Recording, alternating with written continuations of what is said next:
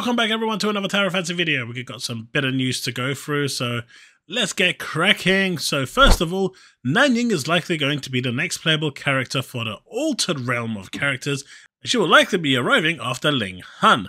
Now this is sourced by Aphrodite, but it's pretty much on the money considering she is now due for a rerun. Now we have heard that future altered characters may be coming at an unorthodox time and they won't be following that two cycle uh, rotation, but that is still a rumor. But as of right now, Nan Ying is supposed to be the next character coming. Now, we also want a bit of information on the Jade Pavilion Lantern Fest. For those of you that are taking part in the web event, just know it is impossible to complete the web event. Impossible. The developers are aware of it. Uh, they have been notified. My assumption is they're just going to give everyone the rewards. This is another event that they seem to have monumentally messed up.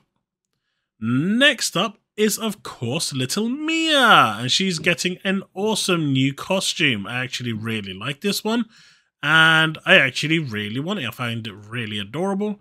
I like the little kind of, I don't even know, it's almost like a little birdie with a hat. Can't really tell, but it looks great, and I really want it. But when we will get it, who knows? But that is currently on the cards.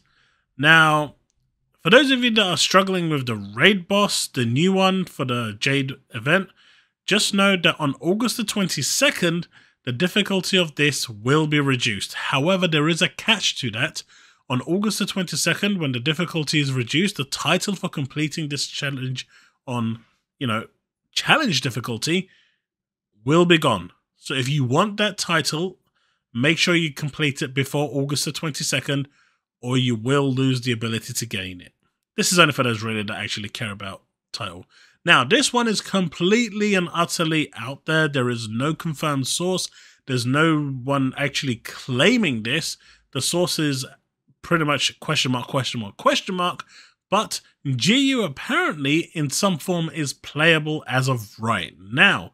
So it could be, this is tinfoil Latin here, that they're going to release two altered characters at the same time when Nan Ying drops, we can get GU as well. That would be pretty damn impressive if you ask me. But, you know, we've seen nothing for this character. So who knows? We'll see how that goes out, how that develops. But as of right now, that is all the information we have about GU. I'm really looking forward to GU, so personally, that would be absolutely amazing for me. For those of you that are interested in the closed beta testing for Mimi, the link to that application is in the description below.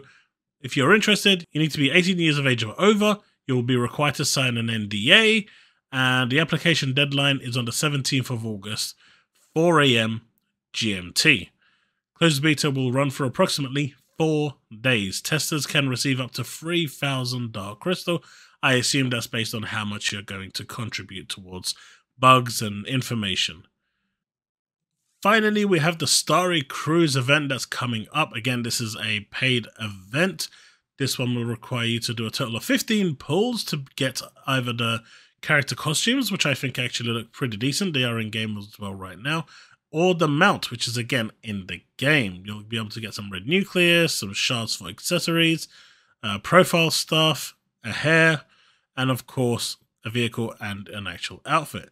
This starts on August 16th, so for the UK, probably it's going to be August 17th, and end on August 24, UK 25. Now, because this is a main character outfit and not a simulacrum outfit, it should be a lot cheaper than the simulacrum ones. These usually go for about £50. So for those of you that are interested that like this outfit, go for it. And well, that's pretty much all we have for this video.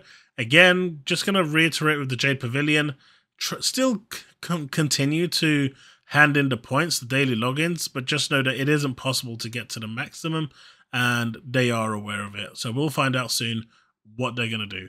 The last thing you want to do is just drop off the event and then they turn around and say, well, we're going to do it based on the percentage of the event you completed and therefore you'll miss out on some rewards. But I'm hoping they're going to give everyone the reward because it is broken. Right, that's it. Thanks so much for watching and I'll see you in the next one. Remain legend.